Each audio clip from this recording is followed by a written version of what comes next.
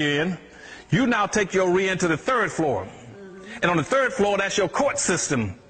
I don't care whether it's the Supreme Court or the local superior courts or county courts or city courts or state courts. You buy them. And you tell the power, and you tell them on that second floor in the court system, oh, you start taking care of my people and doing right. The courts control the police department. The third floor is the courts and the police department. The police department would not be killing your people and shoot them down if they knew that you had an economy underneath you. They're going to pull in. You, how many of you seen police shooting down Jews, for instance, running? How many times they been shooting down Asians? How many times you see them shooting down American Indians? Uh, they, uh, they only shoot down black folk.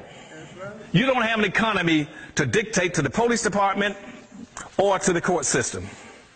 Then once you dictate to them, you take that money off this, off this first floor, you go to the fourth floor. Your fourth floor is your media. You all got to start producing media in these communities and take that money and start going into buying media.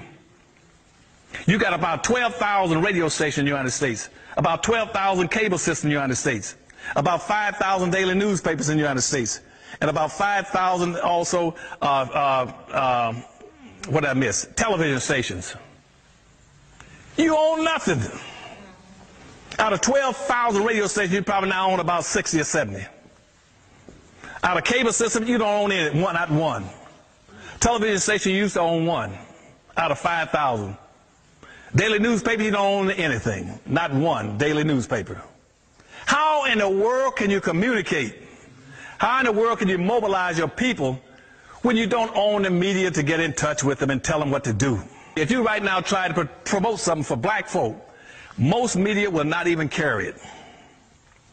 Most co white corporations won't even buy tickets or ads.